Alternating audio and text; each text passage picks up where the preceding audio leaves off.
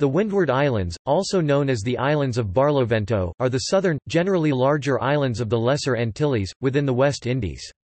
They lie south of the Leeward Islands, approximately between latitudes 10 degrees and 16 degrees north and longitudes 60 degrees and 62 degrees west as a group they start from Dominica and reach southward to the north of Trinidad and Tobago and west of Barbados. Topic name and geography Topic The Windward Islands are called such because they were more windward to sailing ships arriving to the New World than the Leeward Islands, given that the prevailing trade winds in the West Indies blow east to west.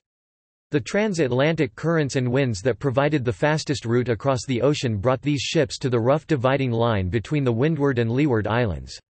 Dominica is the dividing line between the Windward and Leeward Islands. Guadeloupe and islands to the north became known as the Leeward Islands.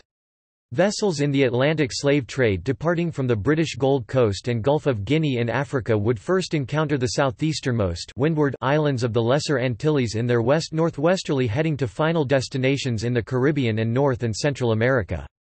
The chain of Windward Islands forms a part of the easternmost boundary of the Caribbean Sea. Most of the present Windward Islands were once colonial island territories of France, also known as the French West Indies.